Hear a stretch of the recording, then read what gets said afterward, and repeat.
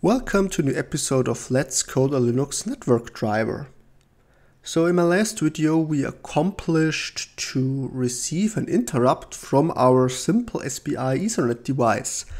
And in a network driver you need interrupts because for example if a package is received the networking device will send an interrupt. If a package was transmitted successfully the device will send an interrupt.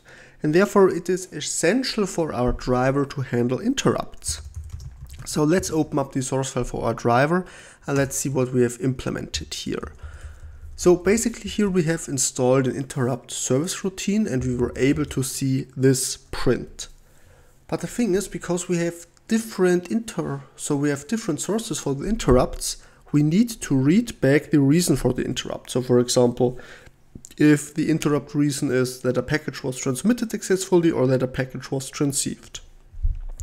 And therefore we were using this set write 8 read 8 function which will access the SPI bus and write one byte out of the bus and read one byte back and this would give us the reason for the interrupt basically. But the thing is when we are comment or when we are removing this comment, compile the driver and installed it and triggered the interrupt, um, our kernel aborted. So our kernel crashed we were no longer able to log into the system over SSH, it just hanged. And the reason for this is because we were trying to use a sleep function within an atomic context. So you have to know in the Linux kernel you basically have two contexts available.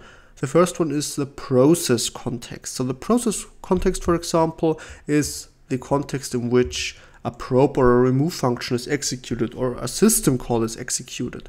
So normally these functions are triggered by user space in some way and here it is allowed to use sleep functions. But there is also the atomic context and the best example for an atomic context is an interrupt and in an interrupt you are not allowed to use sleep functions. And the reason for this is because you want to avoid a deadlock.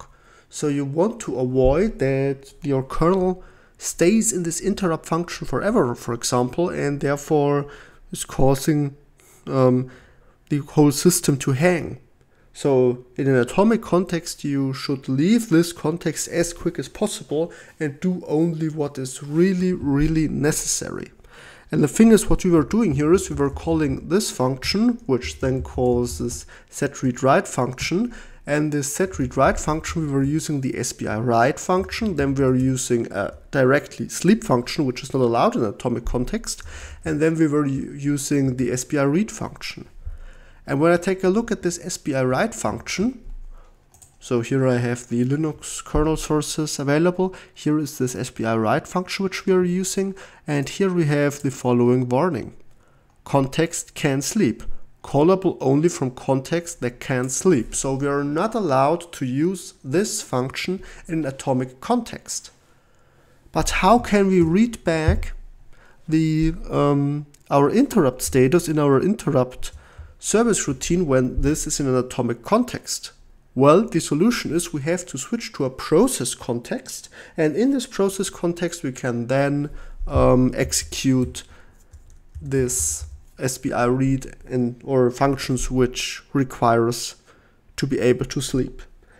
And the way of doing this is by using a so-called working queue. So with a work queue, we can tell the kernel, hey, I have a function which should be executed. Please schedule it in the scheduler and then run it in the normal process context. And that's exactly what we will do in today's video.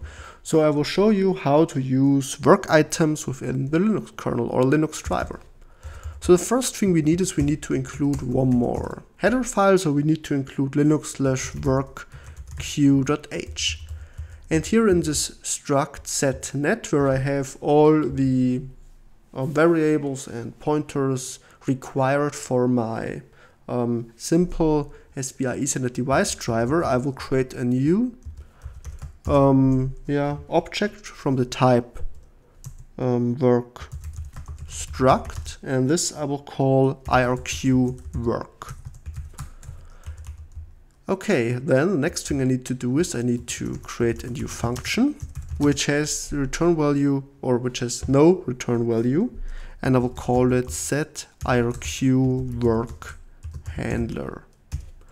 And this function has one argument from the type struct work struct and this is basically a pointer to our work item and over this pointer we can retrieve the other data of this device.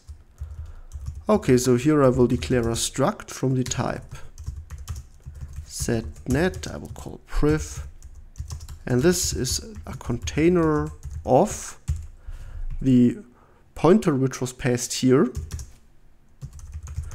And then the struct is called setnet, which we want to search for. And the last argument is the name of the field we're interested in. This is IRQ work. Okay, and what we can do now here is, let's print something out by using dev_info. SPI dev IRQ work handler. Running for example. And then Or maybe let's do it a little bit differently. Here I will call a response and I will set this to set write 8 read 8 and here I will just the command is 8 for read back the interrupt status. And here let's print this value out. Okay and that's it.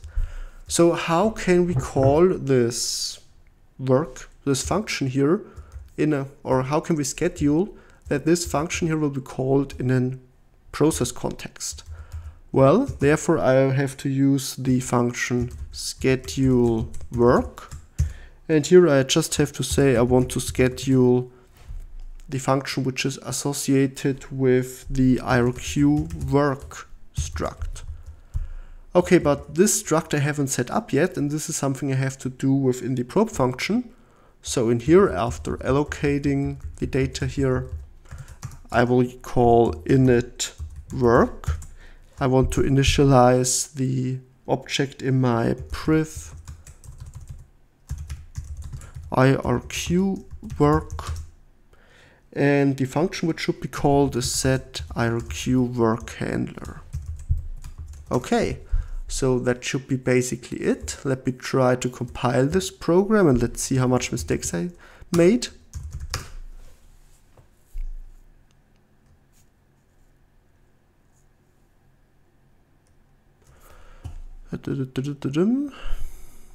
Ah, yes, okay.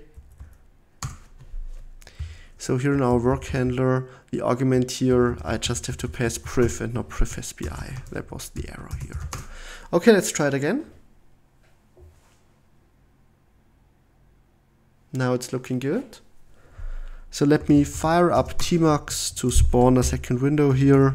Here I will just follow the kernel's log. Then I will apply my device tree overlay for my simple SPI Ethernet device. And then I can load the driver. And we can see here um, in the probe function we are using an IRQ test function which will just pull the interrupt pin of our SPI device high so we can test if interrupts are working.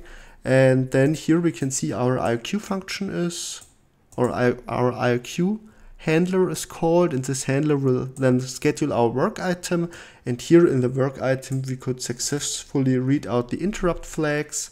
But in this case the interrupt flags is zero because there will be only flags set when a package is trans, um, transmitted or received and none of this is the case. So the IRQ flag is zero which is correct. And if I remove the driver again and reload it we can see the interrupt is triggered for a second time and after triggering the interrupt our IRQ work handler will be executed.